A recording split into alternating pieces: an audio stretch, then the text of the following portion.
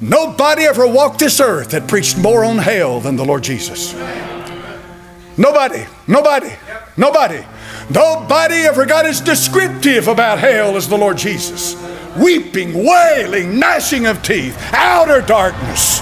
He said, Cut your hand off if it'll keep you out of hell. The Lord Jesus said that. He said that. He preached about a place that he knew was there. He preached about hell. You don't hear much preaching about hell. There's no fear of God, there's no fear of hell. Nobody feels like that if they die that going, they're going to go to a place of judgment and be judged for their sins, but they will. They will. Well, I got a letter from hell. You want me to read it for you? I got a letter from hell.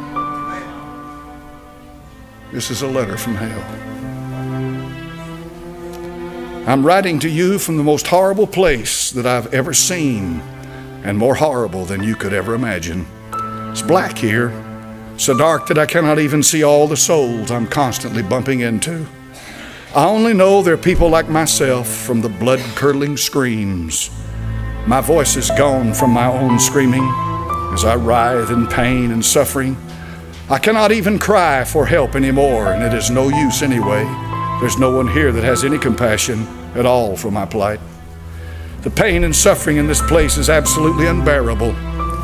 It consumes my every thought. I could not know if there were any other sensation to come upon me.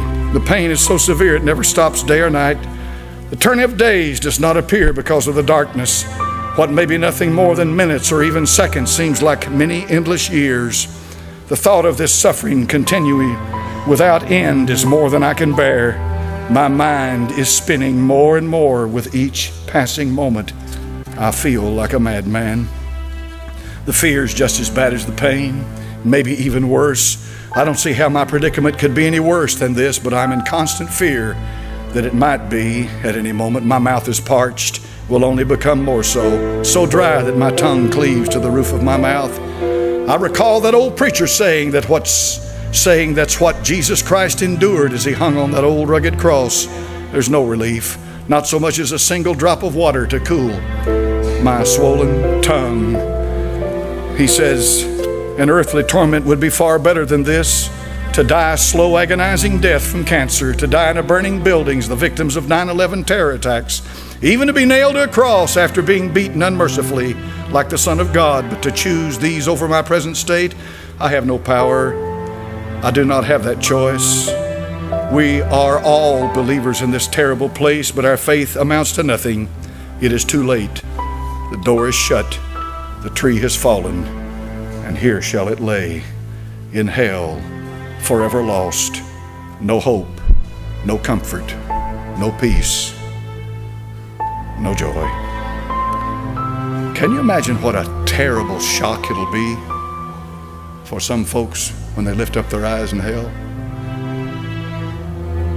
You were religious, you were good, you were a good moral person, everybody bragged about you, you were well known in your community, but you never, ever, ever knew the Lord Jesus Christ. And you died and you lifted up your eyes in hell. Don't go there. I believe hell is a real place. I believe Christ died to keep you out of hell. And the only way that you can be sure you're not going to hell is to have the Son of God as your Savior. Father, in Jesus' name, I ask you to use what I've preached this morning for the glory of God. If there's some soul that heard this preaching today, never been saved, never, ever, ever been saved, they heard this letter from hell, they can see themselves waking up in hell after they die here.